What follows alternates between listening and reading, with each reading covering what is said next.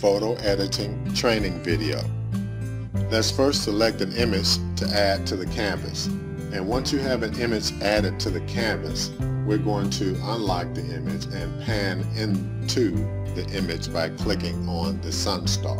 You will notice a quality indicator in the lower right hand corner and we highly recommend that you stay within an okay quality zone for your image to ensure a good quality photo album. Let's take a look at the basic filters. When clicking on Enhance, you will see that you have the ability to adjust the brightness, contrast, and gamma.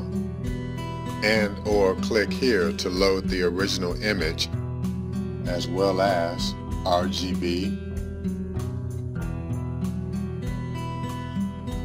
curve, and or click here to load the original image should you decide that you are not satisfied with the changes that you made.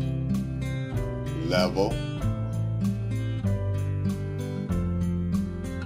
blur, you can also adjust the brush size and your feather size. And with colorize, you can select the color you desire with the droplet and change the opacity and level. And feather, in addition to the softness of the edges with the feather. You can also adjust the amount of opacity as well as and a check mark in the maintain aspect ratio.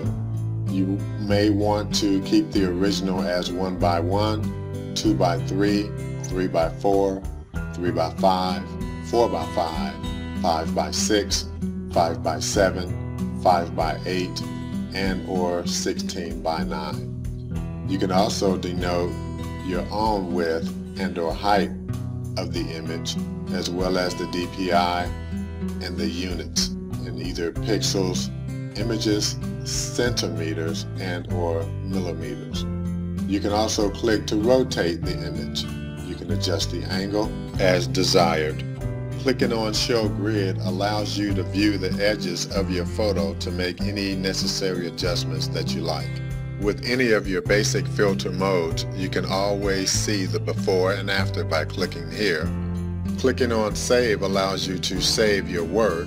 Clicking on Save As allows you to save a copy of the changes that were made and keeping the original photo intact.